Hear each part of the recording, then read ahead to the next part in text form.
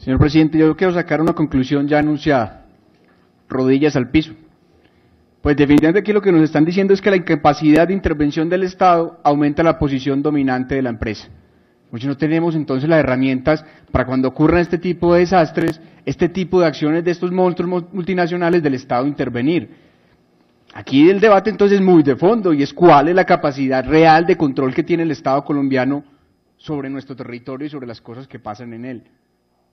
Rodillas al piso, complacencia y un, Estado chiquito, chiquito e inoperante, es lo que estamos teniendo entonces acá. Aquí entonces hay que plantearse muy seriamente cuál es el modelo de Estado que tenemos, que empezamos a construir y que es claramente un Estado de un Estado neoliberal, chiquito, que no, que no tiene como, como énfasis tener las manos y las herramientas suficientes para hacer un control efectivo de su economía. Gracias, señor presidente.